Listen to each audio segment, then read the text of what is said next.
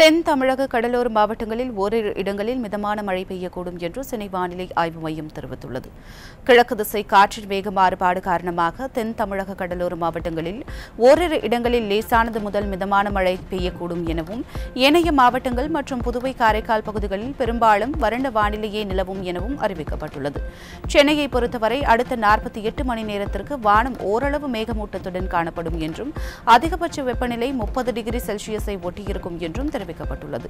நாளை தென் தமிழக கடலோர மாவட்டங்கள் தஞ்சாவூர் திருவாரூர் நாகப்பட்டினம் மயிலாடுதுறை கடலூர் புதுக்கோட்டை மற்றும் காரைக்கால் பகுதிகளில் லேசானது முதல் மிதமான மழை பெய்யக்கூடும் எனவும் சென்னை வானிலை ஆய்வு மையம் தெரிவித்துள்ளது.